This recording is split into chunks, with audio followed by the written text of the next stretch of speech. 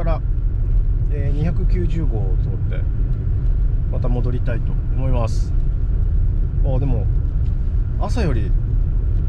路面状況が非常に良くなってますね。除雪がしっかり綺麗に入ったなっていう感じですね。おでこういうところはね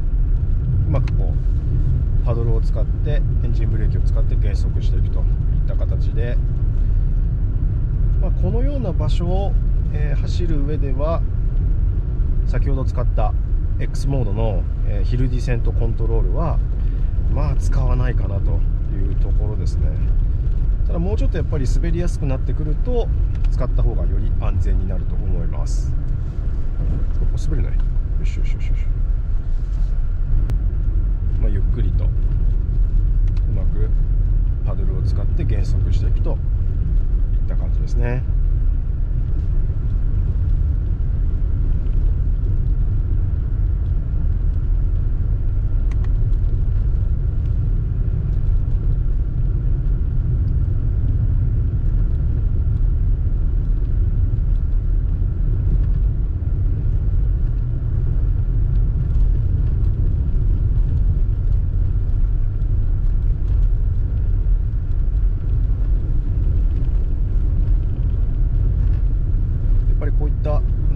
坂になってくると、えー、四駆の頼もしさっていうのを感じられるかなというところです。おっと除雪車。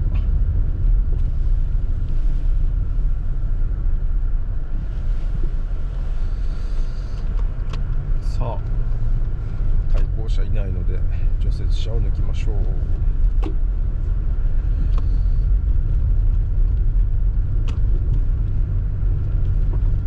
さあ除雪車を追い抜いたので路面的には非常に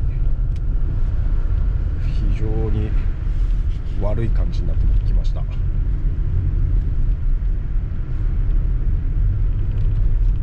圧雪の上に、えー、新雪が乗っているといった形で、えー、とても滑りやすい状況ですね。今アイサイトのカメラが一時停止になったと。おそらくまたこれも曇りのせいですね、えー、ガラスの曇りのせいだと思います。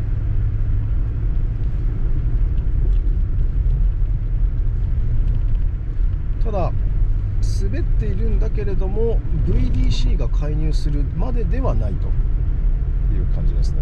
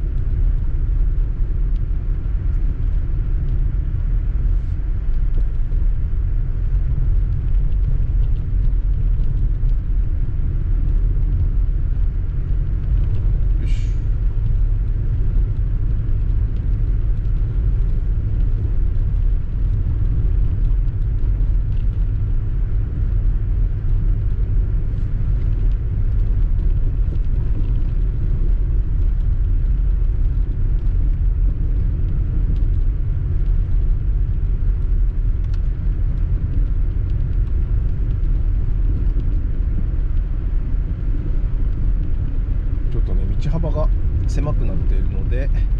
対向車が来るとねちょっと気を使うかなっていうところですね。左側はおそらく、えー、新雪が積もってる感じかな。硬くはないと思います。よいしょよいしょ。この輪立ちに乗っちゃうと結構車の挙動が乱れるなっていう感じですけれども。まあ、そこら辺はしっかりとハンドルを握って、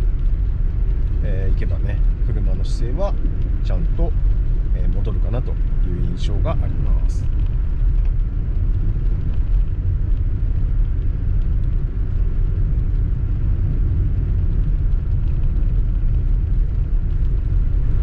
でね普通に走っているんですがまあこれもねよくあることなんですけれどもまあ雪道を走っているとですね結構前の車に追いついちゃうっていうことは何度も何度もありますね。まあそれだけこのスバルの車の、直進安定性の高さであったりあとはこの雪道総合性能が高いがゆえにやっぱり、リラックスしてね運転できるっていうのがあったりするので、そんなに全スピード出して全然つもりはないんですが結構結構普通に走れちゃうっていうのがあります、まあ、ただねあの前の車に追いついた場合は、えー、しっかりとね、えー、前の車との車間距離はやっぱり取らないとまあ、かあった時止まれないことはありますので、まあ、その辺はね、えー、ちょっと注意が必要かなという感じはしてます。まあ、雪道こういろいろ走ってきている中でやっぱりこう、ね、フォレスターのこのサイズ感ですよね。全幅 1815mm このサイズ感ってこの雪道においてやっぱり非常にですねメリットあるなって感じていてやっぱり新型アウトバックだとおそらくまあ、普通の一般道を走っている段階でもね大きさ感じたりするのでこのようにね、えー、だんだんだんだん道が狭くなってきてしまうような、ね、状況下ではやっぱりこのねフォレスターのサイズ感は、えー、雪道において扱いやすいなと思います。でもそんなねそんなサイズ感なんですが、えー、車内の広さは本当十分ゆとりがある広さなので本当ね本当にね使いやすいですよね、うん、こういった、えー、積雪がねあるような場所に来るとこのフォレスタの頼もしさっていうのをねより感じられるのかなといった感じもあります。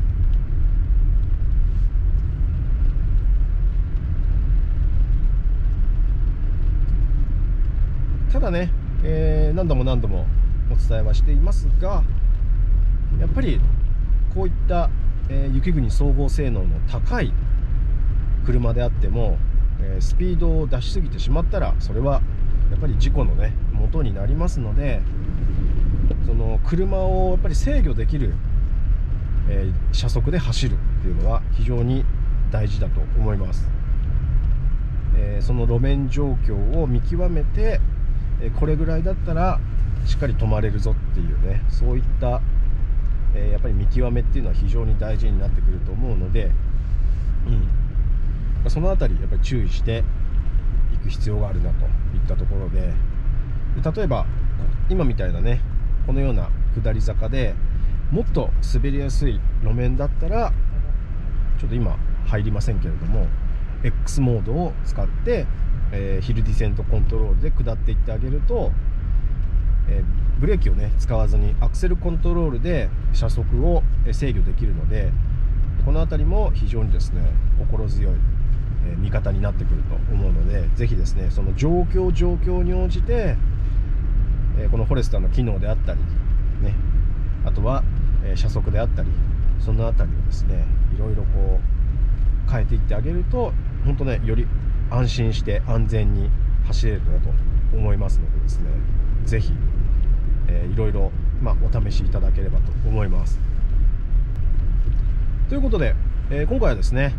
スキー場からのね帰り道で、えー、雪道ドライブお届けいたしました。それではねまた次の動画でお会いしましょう。うわやばいなこれちょっと見えないな。ちょっとこれ危ないですね。もうやめようかな。ちょっと状況が悪いからちょっとやめっか。